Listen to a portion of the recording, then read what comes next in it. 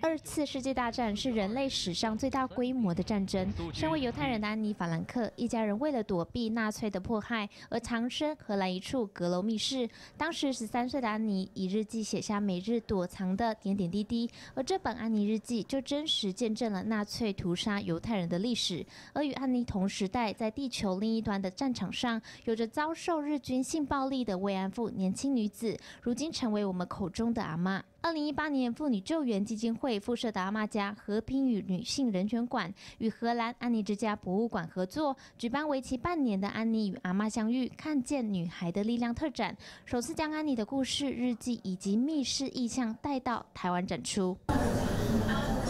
觉得身为她一个这么小的女性，然后可以在那时候这么战乱然后的时代，然后写下这些嗯真实的史料的话，觉得对我们后历史有很很大的保存价值。他们同时是在欧洲战场跟亚洲战场，所以这其实是一个东西的，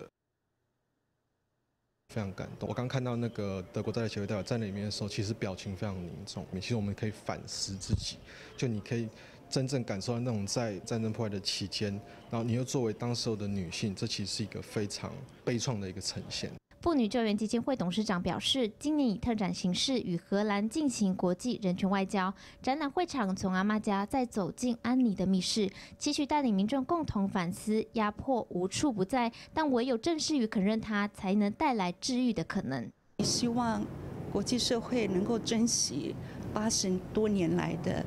呃呃，和平，呃，不要轻易的侵犯他国跟开启战争，带来生灵涂炭。而荷兰贸易及投资办事处副代表范安志则表示，安妮的日记不仅带领大家看见战争的丑陋，也让更多人看见无数颗勇敢坚毅的灵魂。原事情为九三麦徐章台北市采访报道。